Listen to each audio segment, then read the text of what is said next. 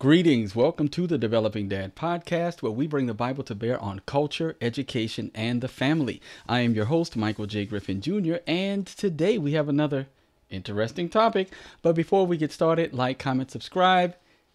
Help me to build the channel. All right, to the topic saved, sanctified, and filled with the Holy Ghost. Come on, Blac Chyna.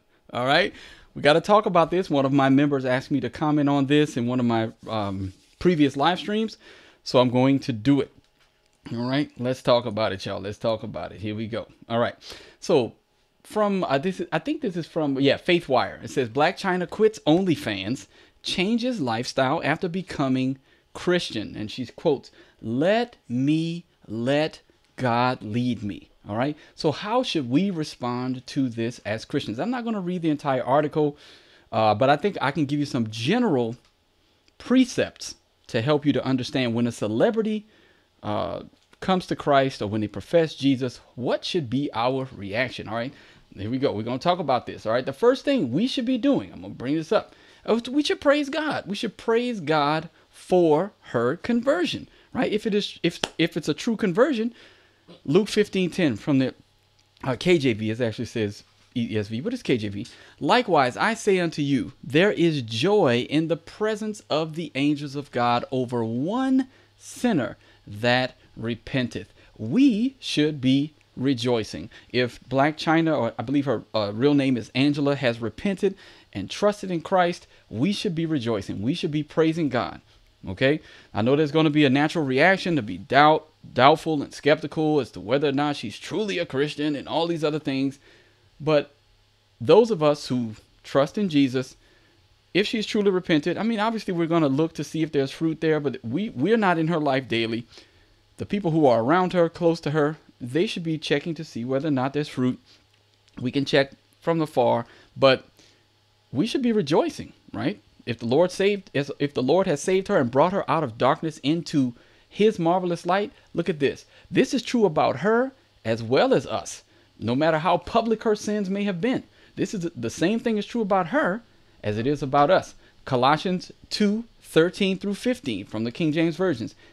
Version, and you, being dead in your sins and the uncircumcision of your flesh, hath he quickened together with him, having forgiven you all trespasses, blotting out the handwriting of ordinances that was against us, which was contrary to us, and took it out of the way, nailing it to the cross. And having spoiled principalities and powers, he made a show of them openly, triumphing over them in him.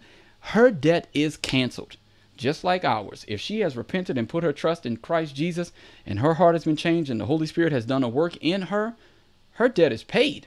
So we should be praising God along with those who know her. All right? So, what's the other thing we should be doing? All right, there's three things that I'm going to highlight in this video. The first is praising God the second is realizing that she has a hard path.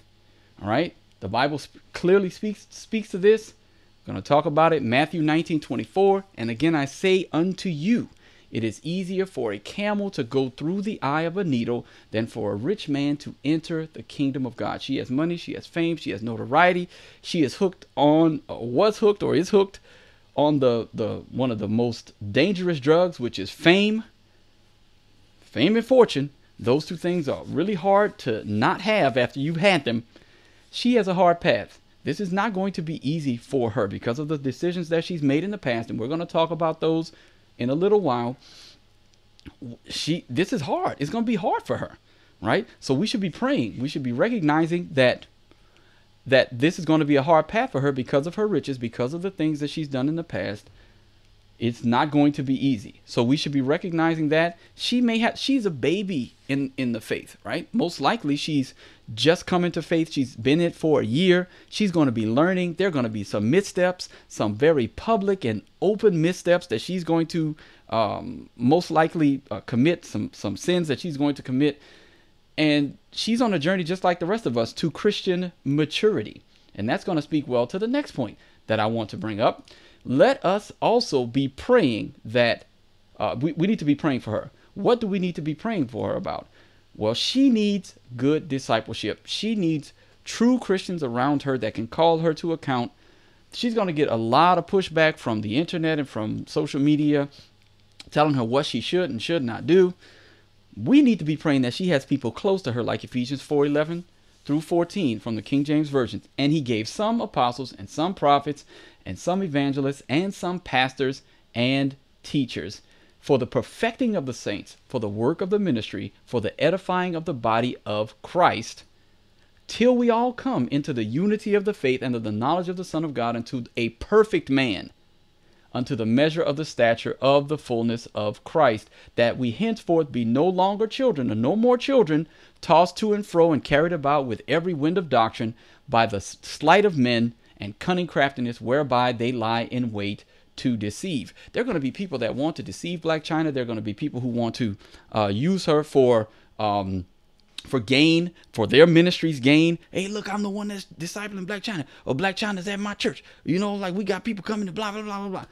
She needs sound teachers who are going to be around her that care about her soul and not about what um, things that she can bring them, that her fame and notori- notoriety can bring to them we need to be in deep prayer for her so that she doesn't fall prey to these things. And it's it's a very very hard road. Remember we talked about that that hard road that she's going to have to walk. Now, we've got that out of the way. Those are three things that I think we should be thinking about as Christians. Now, what advice would I give to my sons if let's say they were bringing home a Blac Chyna to the house and saying, "Dad, I'm thinking about marrying this young woman. All right? This is where we're going. Every prudent man dealeth with knowledge, but a fool layeth open his folly. What would I be telling my sons? First, son, you got to deal with knowledge. You need to know the situation that you're going into. This, all right, this is the situation you're going into. And this is her personal life. This is online for anyone to see. She has led a very open life, a very open and sinful life just because you've been sanctified by the Lord does not saved and sanctified by the Lord does not mean that you are all of a sudden wife material. So this is something that a lot of a lot of preachers will not tell you this. They're going to say, "Oh yeah, she's saved, so she needs to be. You need to, yeah, you need to wife her up." Mm-mm. Let's let's talk about this first. Let's look at her personal life, right? We're just gonna read this and talk about it, and we're gonna wonder. We're gonna like, hey, would you would you want to bring this home to your parents? right? And I'm talking to my I'm talking to my sons. In December 2011, Blac Chyna appeared in the music video for the song Rack City by rapper Tyga. Is it Tigger? Tyga? I don't know what. She was said that uh, she has said that Tyga asked her to join him on tour that year, but she refused. They began dating. She had a son with him. They split in 2014. Um, she announced that what yeah she has children with Rob Kardashian. She's announced that that uh, the Kardashian with his Rob Kardashian they announced they split. They reconciled a few days later, but separated again. So she's in, been in a lot of relationships. Uh, Kardashian posted sexually explicit photos of Blac Chyna on social media, right? So some somebody got them news, and she and he posted. She took them and posted it. She actually, if you look back here at the top, she she started out as a stripper, right, at King of Diamonds. Um, yeah. Again, so this is this is the thing. These are the things that she has done in her past right? Just because we come to faith in Christ does not mean it erases our past from a t- uh, ephemeral perspective, right? Uh, corporeal, like the, the why did I say ephemeral? All right, from the time bound, from from this world today, right? I get my I got my two words mixed up, but yeah, she is a follower of, of Christ. In March 2023, she revealed that she had been baptized in 2022. She deleted her OnlyFans, so she's taking steps.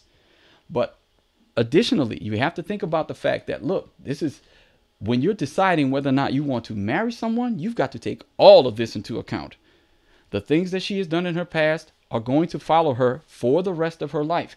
Do you want to yoke yourself to that if you are a man? You have to be able to make a wise decision. Okay? Her decisions will, if you're one flesh with her, you're going to reap the ramifications of those decisions as well. So would I tell my son to uh, wife up a woman who is like Blac Chyna or even like someone who has the past as a stripper and all these? No, absolutely not. I'm not giving them that advice. I'm telling them that they need to um, look for someone else. I'm just keeping it 100. Uh, now, what the, the the decision that they make will be upon them. And if they do marry her, then then we're going to accept her as a uh, as a as a daughter and love her the same way we would love any of our other daughters that that come into the family through marriage. But Would my advice be to marry her? Absolutely not. I'm just keeping it. I'm gonna keep it 100 with y'all, right? And that's that's the question that that's some of the things that we need to think about, right? Our past decisions don't get obliterated; they get obliterated in the heavenlies, right? And we are forgiven, and the debt, the record is set, uh, canceled against us. But we still have to deal with the ramifications of those decisions here on earth. All right. So I'm gonna leave y'all with that, and until next time, be on the alert, stand firm in the faith, act like men, be strong. See y'all around. Bye.